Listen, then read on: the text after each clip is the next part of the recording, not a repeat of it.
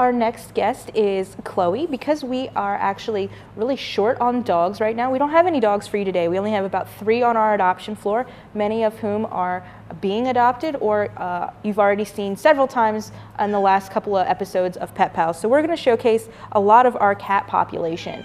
Um, Cats actually make up 60% of our animal population, so we always have an abundance of cats looking for their new forever homes. And this is Chloe, and she is very active, as you can see. Um, so if you're looking for a young, active, playful uh, cat that's maybe past that kitten stage, um, Chloe's going to be a great option for you. She's a one and a half year old domestic short hair.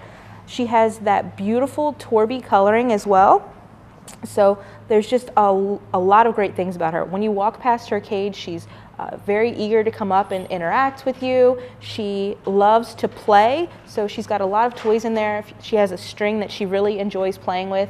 She's always, uh, if you pull on that, she'll come right up and, and she will climb the cages to get at that. Um, and when you, when you see that Chloe's standing up, you can see that she's recently been shaved. That's because, uh, like all the animals that, that are in our facility, before they go home, they're always spayed and neutered. So Chloe has recently been spayed, so that's not something that you have to worry about. Um, she will be a relatively quick turnaround as far as her adoption goes because that's already been taken care of, so we don't have to worry about scheduling that surgery.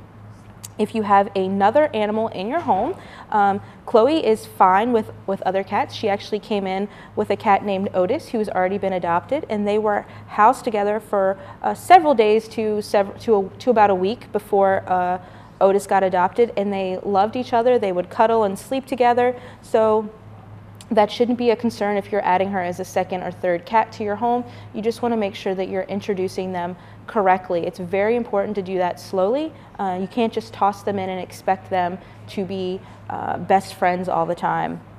But Chloe is a wonderful cat, and she's going to be uh, available for adoption here with us at Frederick County Animal Control and Pet Adoption Center.